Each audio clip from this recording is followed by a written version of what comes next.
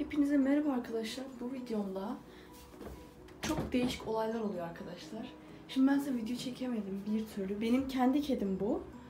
Onu size çekecektim bir türlü çekemedim. Ondan sonra işte bir sürü şey oldu. Hepsini çekeceğim.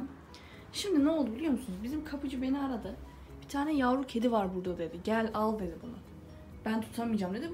Ee, bir gece şeyde kalmış. Kazan dairesinde. Yani çok da sağlıklı olmayan bir yerde kalmış. Sen tüyleri falan böyle şey olmuş ama bir gece korumada kaldı.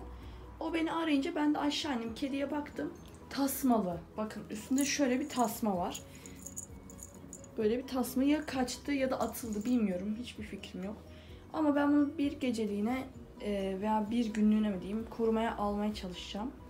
Ama bizimki o kadar sinirlendi ki. Onun kokusunu elimde alınca bile elime bile tıslıyor. Bakın sinirli sinirli.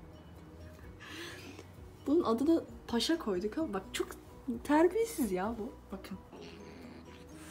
Gördünüz mü arkadaşlar? Direkt kızıyor. Kendi kendine. çok komik bir kedi arkadaşlar. Bu kedi de e, getirdim eve su koydum. Yanlışlıkla suyunu döktü. Mama koydum biraz bizimkinin mamasından koydum. Onu yiyor şimdi. Bilmiyorum yani çok da tatlı bir kedi kim atmış veya ya şu anda pek yavru gibi gözükmüyor mu? Bakın şöyle. Çok da küçük bir yavru değil aslında. Bakın çok tatlı. Bir de yemek yerken böyle ağzında bir yara varmış gibi yapıyor. Ben de anlamadım hasta mı şey mi anlamadım. Benimkini çok yaklaştırmayacağım yine de. Çünkü ne olur ne olmaz. Benimkinin daha aşıları yok. Hatta sen bir gel bakayım buradan çık. Buradan bir çıkartalım. Bu da illa da girmek istiyor buraya. Bu, bu kedi var ya burada. Hadi git sen. Hah, gitsin. Sonra kapıyı açıyor geri giriyor. Bunun önüne ağırlık koyalım.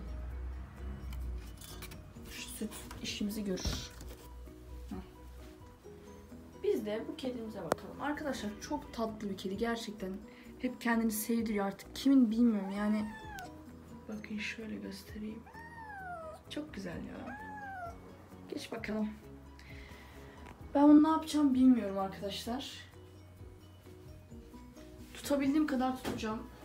Geçici yuva, kalıcı yuva bilmiyorum işte sahibi terk mi etmiş ya tasması varsa bilmiyorum terk etmiş de olabilir ya hiçbir fikrim yok. Da böyle bir minnoş. Çok da güzel bir kedi yani.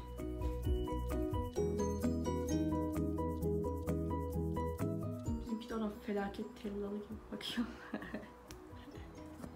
Çok komik ya. Nasıl bakıyor arkadaşlar? Şuna bakın. Çok komik bir kedi ya gerçekten. Bu da hiç umurumda değil. Kendini temizliyor. Bu da geçici olarak bir isim koyabiliriz arkadaşlar. Ama ben bunu nerede tutacağım bilmiyorum. Gerçekten ne yapacağım hiç bilmiyorum. Yani bugün içerisinde yuva veya sahip veya işte her neyse buldum buldum. Bulmadım ne yapacağımı bilmiyorum yani.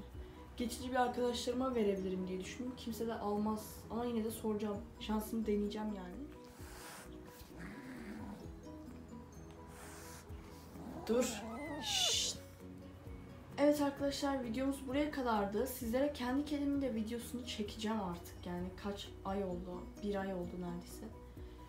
Çekeceğim arkadaşlar. Bir, bir de bir şey daha var. Bu kediden önce bir tane daha yavru kedi bulduk. Ama maalesef neyse onu ben söylemeyeyim.